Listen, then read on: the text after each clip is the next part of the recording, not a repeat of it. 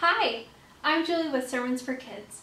You're about to watch an awesome Bible lesson for kids, but this is only a portion of what you can find on the Sermons for Kids website. If you want more videos, games, activities, and coloring pages, keep watching until the end of this video and I'll share where you can find those. Enjoy the lesson.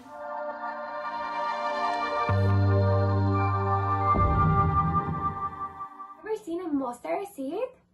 The mustard seed is one of the smallest of all seeds. Come on. Some people think of faith when they think of mustard seeds. Faith is when we believe in God and His power.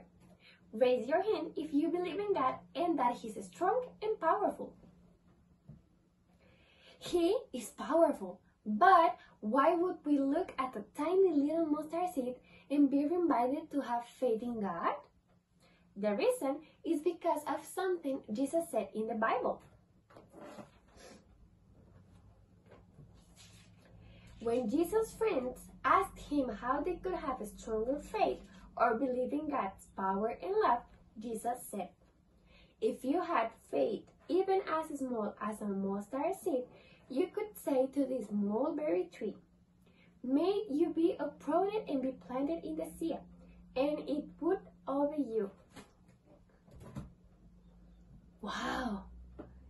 Jesus said that God is so powerful that if our faith is even as small as this little seed, then we can do incredible things with His power. Maybe we should try that. Look this plant. If Jesus said we could pray and ask God to move a tree from our front yard to the sea, then we need even a smaller faith to just move this plant a little bit. Let's say, move. Move. Mm, it's not working. Does that mean Jesus was wrong? Of course not. Does it mean we don't believe enough? I don't think so. When Jesus said that faith as small as mustard seed could move a tree to the sea, he was teaching us that it doesn't take a great faith for great things to happen. Why?